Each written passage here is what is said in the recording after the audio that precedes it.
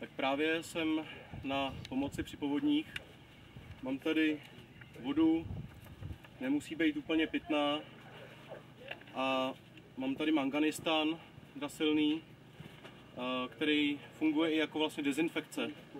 Takže teďko je tady všude plno bahna a člověk musí dávat bacha, aby něco nechyt. Nějaký nemoci musí furt jakoby, si dezinfikovat ruce a cokoliv, co jde.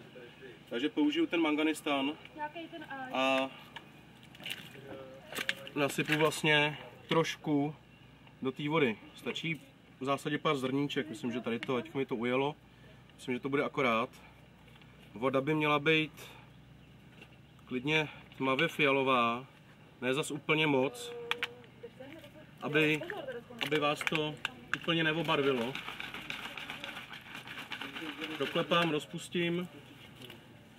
Takováhle krásná barva.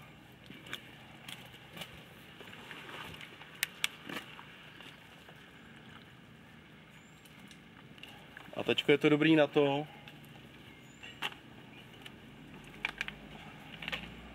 že si s tím vlastně poleju ruce.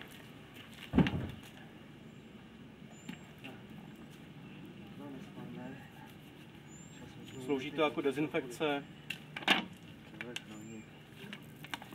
Manganistan jde normálně krásně koupit, takže takhle jenom stačí potřít a jste dezinfikovaný.